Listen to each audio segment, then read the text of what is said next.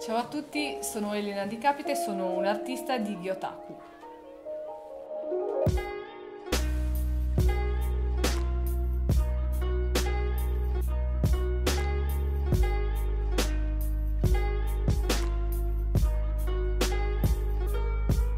Parlaci un po' del- di questa tecnica particolare ehm, chiamata Gyotaku e eh, spiegaci un po' perché hai deciso di scegliere appunto questa, questa tecnica particolare.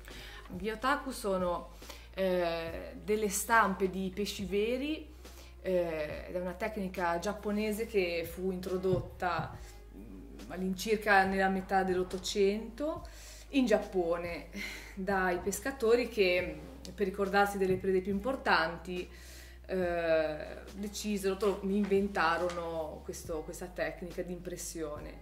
E mh, inizialmente, ma tutt'oggi nel, diciamo, nello stile originale, eh, prevede ehm, l'apporto di inchiostro che si chiama sumi eh, in Giappone, che è un, è un inchiostro a base minerale, eh, su- sul pesce che poi veniva stampato con diversi tipi di carta giapponese. E tuttora eh, in Giappone loro ci mettono ancora le, le misure, quanto misura, quanto misurava, perché poi se lo mangiano ovviamente, eh, il peso, eh, il costo del pesce, tutte le informazioni. E poi da lì è nata una corrente artistica eh, ancora quasi sconosciuta in Italia, In Italia, e in. Europa in generale.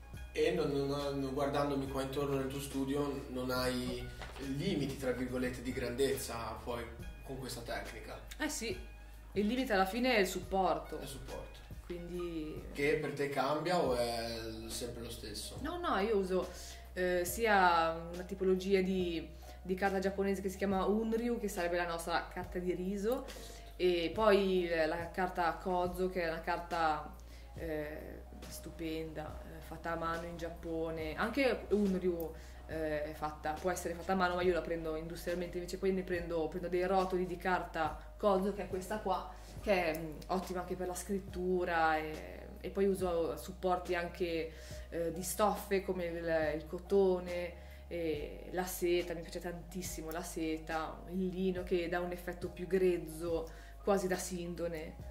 E Sì. quindi anche gli oscuranti per le tende sono molto belli, stampano Sì. molto bene. Hai una varietà diciamo di supporto. Sì. E non ho fatto meno di notare che in ogni opera è presente una sorta di, di ideogramma, non so un timbro, sì. È un timbro. È la firma che... È la tua firma. sì, quello l'ho ideato io, è una gomma incisa.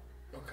e sono le mie iniziali, e un sole. Sembra banale, però in realtà ci vedevo molto del, un incontro tra il Levante, Gyotaku Levante nel senso Levante che è una tecnica orientale, che è giapponese, e poi noi siamo nel Levante Ligure, quindi tutto c'entra.